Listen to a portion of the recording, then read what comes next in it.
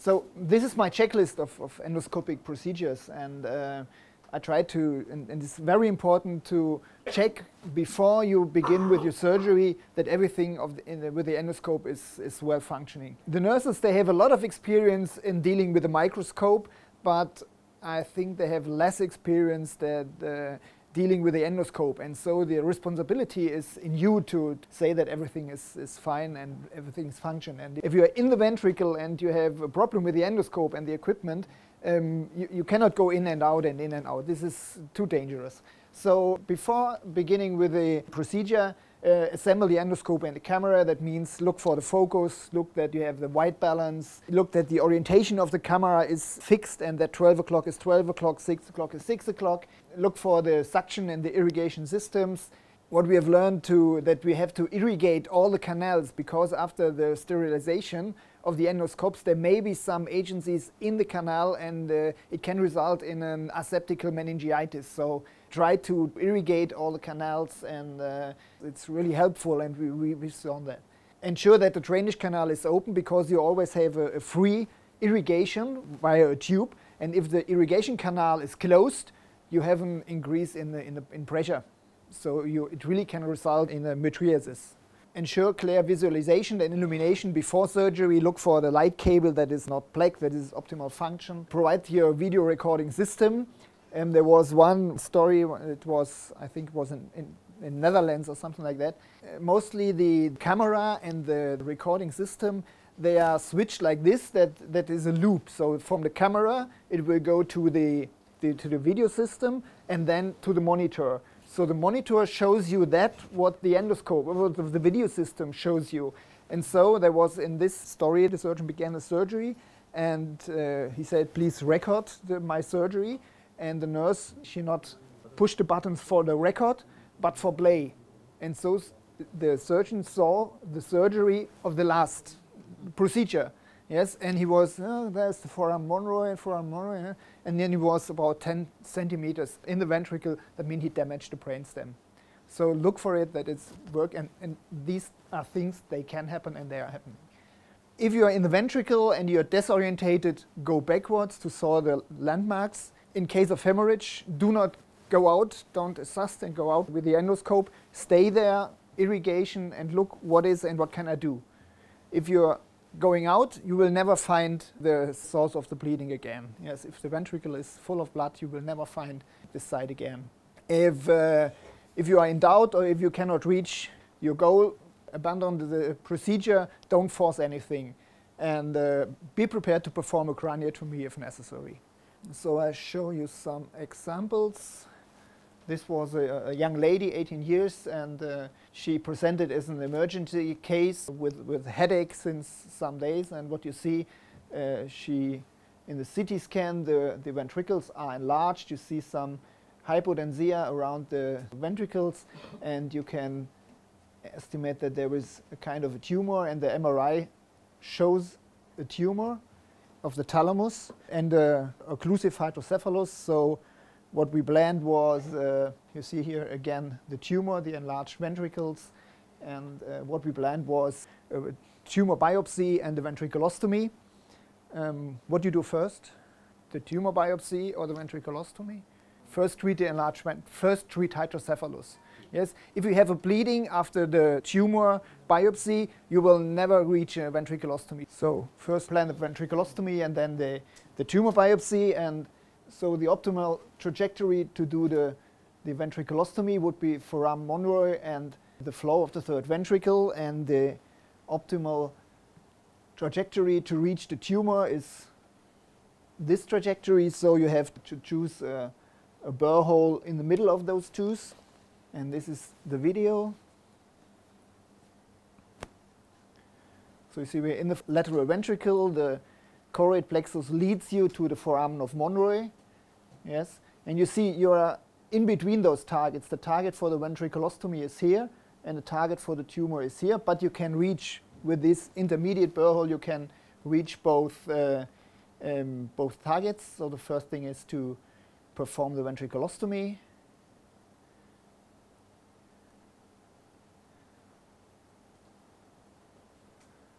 and we also perforate, we try to perforate with this Fogarty catheter and then dilatate.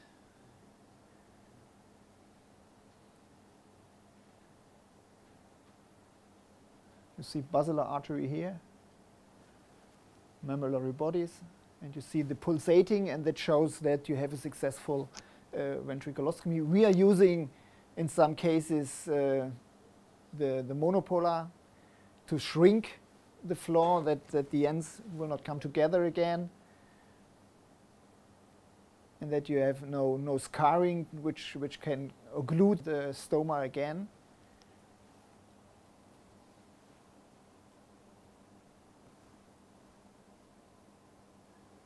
And you see there's no other membrane and so you have uh, reached your, your ventriculostomy. Now going for the biopsy and uh, see it, it, bleeds but it was not that much so with the coagulation we could reach a good hemostasis. And this is postoperative image. In some cases we are doing a, a small craniotomy it's only, only reach a better cosmetic if you have it, it's very near to the friend of if you have a, a, a bar head and you see the burr hole always, yes, and if you're doing a craniotomy and replace it with some cranial fix holders, you do not have this burr hole. So it, for, for cosmetic reasons, it may be sometimes better to use uh, craniotomy. And you see the ventricle size and the tumor still is stable. It was an astrocytoma uh, grade 2 tumor and uh, still stable disease very basal in the front. And this is the video. You see the foramen of Monro. And now going in the third ventricle, and you see aqueduct is here. So this is uh, inferior, this is superior. You see here the cyst. And you see this is the roof of the third ventricle. You normally do not see by doing a ventriculostomy, but here you can see the roof. And uh, I'm in favor of using this coagulation. Um, so we did a perforation, some perforations, and then we cut with a scissor to perform a wide opening of the cyst.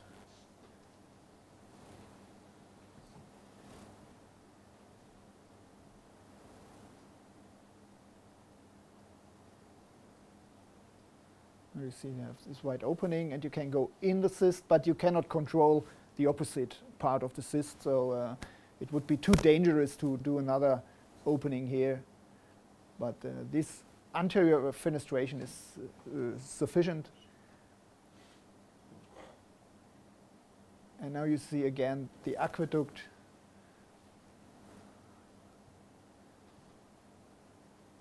and you see it's, it's wide open now. In the post-op image, you see the cyst is collapsed. The aqueduct, you see a flow in the aqueduct here. And this was the burr hole here, as planned before. And in this case, we covered it with a, with a PMMA bone cement. So this was a, a young boy, one and a half years, with a macrocephalus and some developmental delay. And he also had some episodes of nausea, vomiting, which were more frequently. And so he developed in the last days before the presentation, he had uh, regularly an opisthotonus, and he came like this, and one saw beside the macrocephalus the enlarged ventricles and the typical signs of a suprasellar cyst with, a, with this cystic lesion. So the typical sign of a, a cyst. This is the video. It was a precoronar approach on the left side, and you see the cyst is bulging into the lateral ventricle. You see it's overlapping the borders of the foramen of Monro, and the first thing we're doing is to shrink the cyst. And you see the, the foramen is becoming more and more free.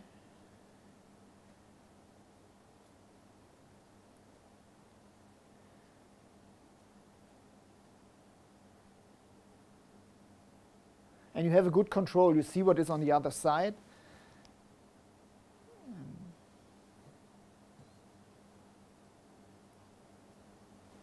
Again, the fenestration with a scissor.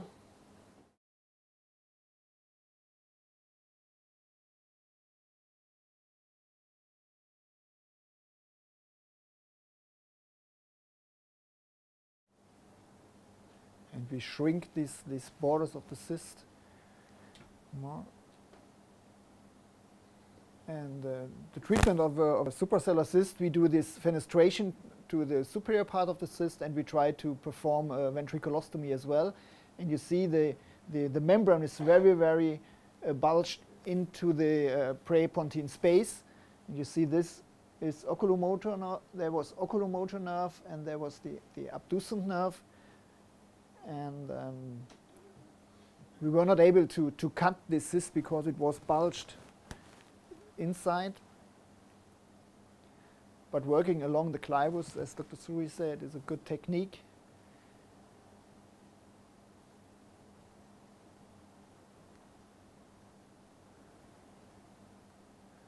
And now we saw there is another membrane here along the clivus, so the ventriculostomy is not done yet. And you see there is one membrane here, so it was like this, and we have to cut in this direction, close to the abducent nerve, which came in view. There is abducent nerve here.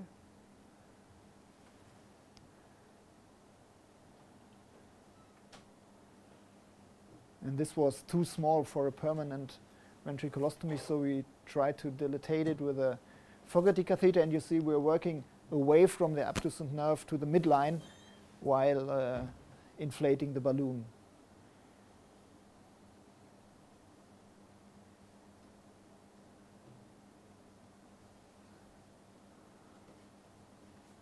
And now we had a good opening of both uh, membranes.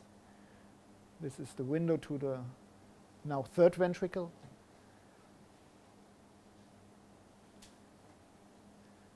And looking for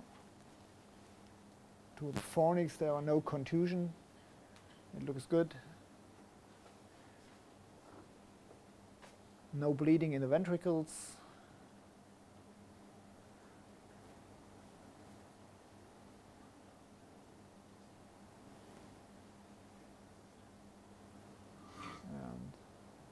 inspection of the canal, there are no bleedings. And okay.